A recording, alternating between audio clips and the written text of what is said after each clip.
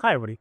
In this ViaRender video, we're going to take a look at the settings for the Path Tracer in Twinmotion 2025. We're going to look at trying to find out what the optimum Path Tracer settings are to get the best result on the least amount of time. We'll look at a number of different render settings at basically different values and try and find what's the sweet spot between basically amount of samples, bounces, and the time for your actual renders. Hopefully, at the end of this video, you'll have a good idea what settings you should use to get the best render in the fastest amount of time. All right, go ahead and get into it. So here we are in Twinmotion 2025.1.1. This is the scene that we're going to use. You can see a couple of features here. I have Lumen turned on right now just so I can work in real time and you can see what I'm talking about. This room is a pretty standard kind of generic room. There's nothing special architecturally going on in there. We do have a number of different interesting surfaces that I do want to emphasize. We have a large mirror on the left side, and we'll be looking at the reflections that we get in that mirror. We have a number of concrete, marble, and we also have a number of glass objects that we can take a look at. The floor also features a about a 25% roughness tile, and we've also got some areas here where we'll be able to compare the shadows in our various results. We do also feature foliage, and this is something that we'll actually want to look at later on, is how well does the Path Tracer capture this footage in, from basically very low settings all the way up to very high. We've got some other objects here with what I would consider low roughness, high specularity, including this really lovely vase model here. And we do have windows. This is set to a very basic glass material. It's just clear glass, standard, nothing special about that, and a little bit of foliage outside. Now, in order to keep our lighting system consistent, I'll move myself out of the way.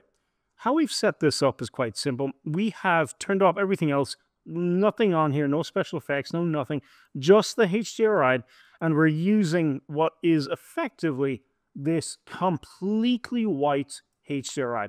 This is actually one I found on a website for jewelry.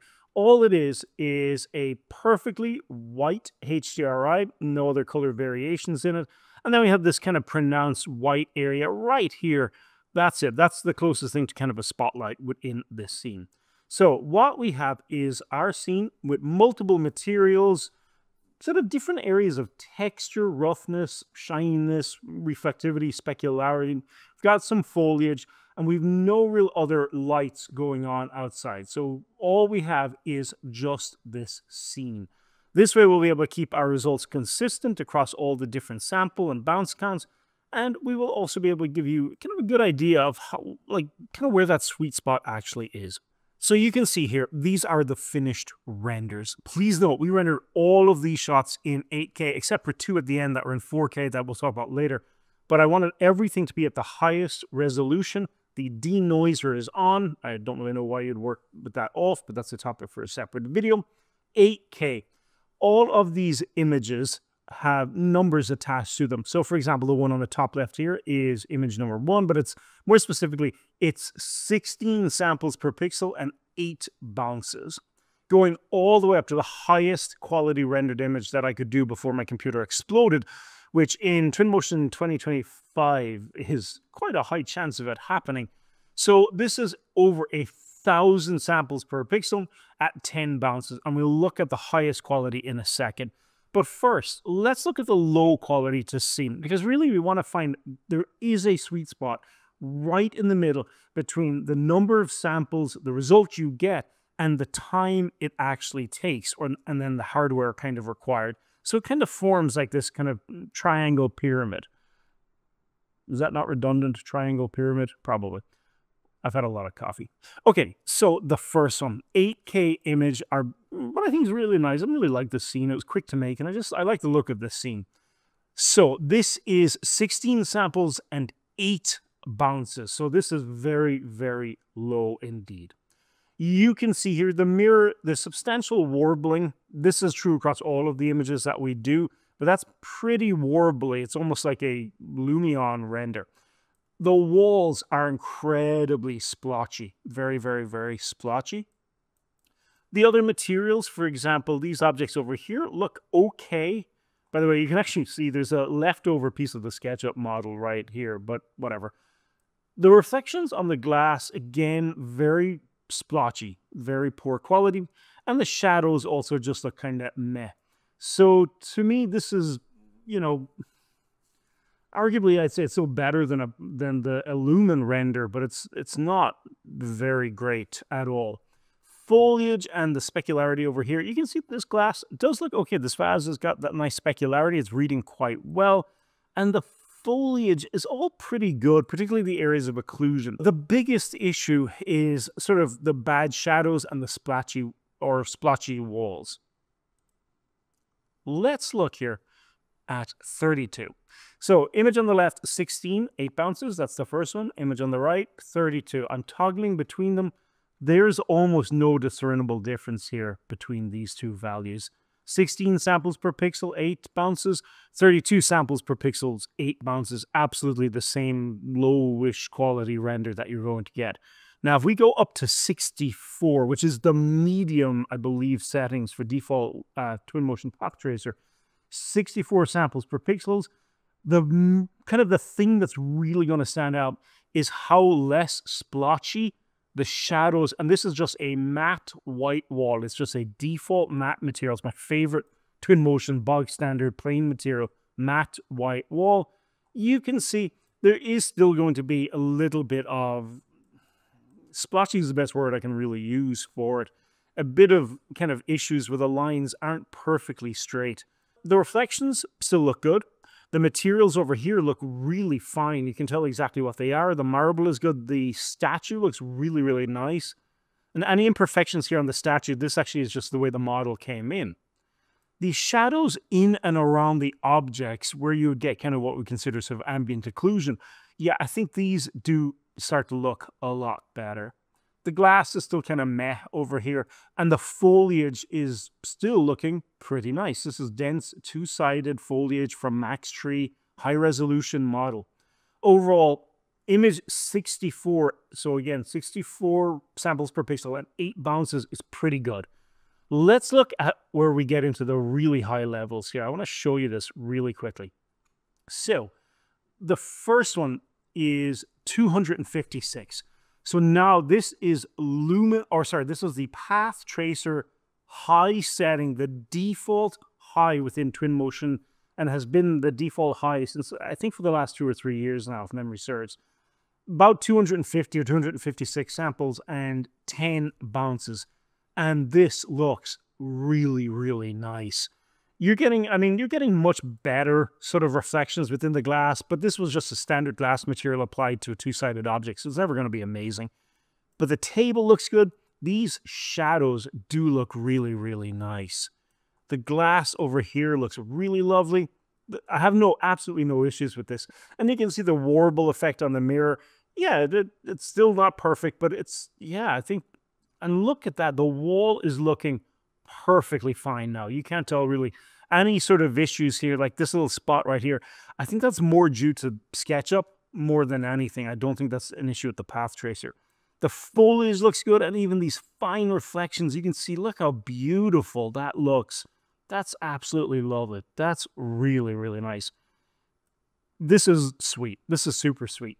Now, let's look here really quickly at this is the next one on the right is 256, but I've doubled the number of bounces. And you might be thinking, there's no real difference that you can actually kind of see here. 256, 10 bounces, 256 with 20 bounces, there isn't. Bounces are probably going to make a much bigger difference, at least from my very limited understanding of ray tracing and path tracing math really in dimly lit environments or environments where really you only have like one light source, maybe like a bathroom, that's when you may want to crank up the bounces. And again, I'm, I'm not going to, I don't have a programmer's or engineer's knowledge of this stuff. I'm merely looking at the results and giving you my thoughts on them.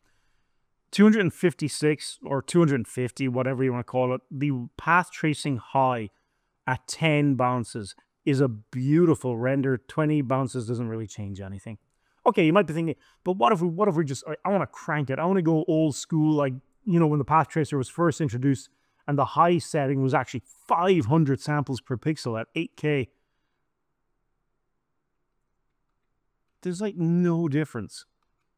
Like really, I'm not in an 8K image, I'm not really picking up any discernible difference here. Uh, let's maybe look at this glass here. Let's do this. We'll zoom out. And I'm just focusing on the glass on the table. And sure, I know you're going to say there's no caustics, there's no, there's, you know, light rays or whatever. There's no all the fancy lighting stuff. But right now, the difference between a 250 samples per pixel and a 500 plus is non-existent. And so the last one I want to look at here really is over a thousand samples per pixel with 10 bounces and look how good it is. I'm looking at the wall here. So here's our 250 over a thousand samples, 10 bounces.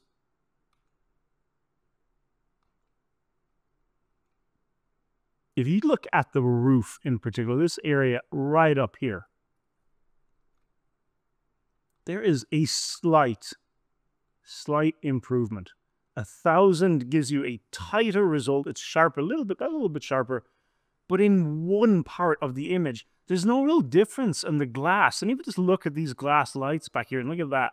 It's the same across from a thousand all the way to 256, 510 or 512. Now, to me, I, I know there are a lot of variables, and every scene you might argue is a little bit different. However, the time it took to render this 8K image at a thousand samples was really, really long on a 4070 Ti Super, which I think is about a 12 gig uh, GPU. So it was sort of a higher end of the range, you know, the last generation. Still a good GPU. I still really like it, but that time was substantial. And I don't see anything in the end result that actually says this is the settings you need to use. Honestly, as it currently stands, what I would say is in an 8K image for an interior shot like this, if you're not getting a decent result with about 250, what basically Twinmotion says is the high setting, I don't see any reason to go beyond that. Now, you could argue if there's a lot more glass in the scene, if there's a lot more reflections, but look at this, look at these reflections on the ground here. Here we are at a thousand, just looking in around this bottom chair. 250, 250, 512. There's not a massive difference. Last thing I want to mention on this is should you render at 8K or 4K? So you can see up on the top here, I've got two different shots here. Uh, this one is 512, uh, so, you know, uh, 500 samples, 10 bounces, and it's in, if we look at the bottom left, it's an 8K image. And just to the left of it, I've got an image again, 512, 10, but 4K. So I want to move myself out of the way a little bit here. So toggling between the 8K and the 4K, 8K, 4K, so really where you're going to get a lot of benefit here is going to be, if we look at the foliage on the bottom right here, so this is the 8K foliage, and really you're looking at in and around these areas here. So 8K. And if we drop down to the 4K, you can see. So you do get a lot more fidelity. Now, obviously the render times are going to be severe. And in this case, I don't know that I'm seeing a massive difference. My preference, my personal preference, for example, if we look here on that vase, you do see it a little bit. Personal preference would be just always render in 8K. It takes a bit longer. It's a bit more resource intensive. You could go take a, your dog for a walk and make a cup of coffee. It's that much longer that it's going to be. But generally speaking, I'd rather have those pixels to work with in Photoshop, even if you end up downsizing. Or if you've watched some of the other videos recently, we've rendered in 8K, resized the duplicate in Photoshop did AI magic on the smaller sort of duplicate and then brought that back into Photoshop. So resize the small one back to 8K and then kind of merge the two pictures to give you the best of both worlds. But as it currently stands for me, in this interior shot, and I understand an exterior, people might say the results will be different, but in this interior shot right now, the sweet spot, honestly, seems to be just setting it to the default high and rendering it at 8K. Everything after that seems to be a case of diminishing returns. And as much as I do love the look of this super fine looking 1000 samples with 10 bounces, this is just, you know, oh wow, everything is so crisp and clean. It almost looks like a D5 render. It's that that's like really sharpness. I don't know that this was worth I can't I can't remember how long this was, but this was a long time rendering. So yeah, it's not actually worth it. So if you're not getting a good result at the default high settings, then maybe it's some other issue. It's not a question of just ramping up the samples to get a better result. Maybe the camera is bad, maybe the materials are bad, or the overall lighting is just sort of rubbish. These are all the other things that you have to be mindful of. But all in all, uh, when in doubt, set it to high, render in 8K. Might take about 15 minutes. Although I will, one more caveat on this one thing I want to mention 2025's path tracing rendering is so slow. I don't know what's going on. I don't know what was changed. I, I have no explanation for it. But at the moment, as it currently stands uh, in June going into July in 2025, if you have projects to work on, real projects to work on right now, don't use 2025. Use 2024, the most stable release. Uh, yeah, I don't know. It's just something is not right under the hood at the moment. Okay, with that being said, I'm going to go ahead and leave it there for today. Thank you so, so, so much for watching. I really do appreciate it. Hopefully, this will help you going forward, and hopefully, this will save you from having to do your own sort of A B testing just to see what settings you should use. All right, I'll see you in the next video. Cheers.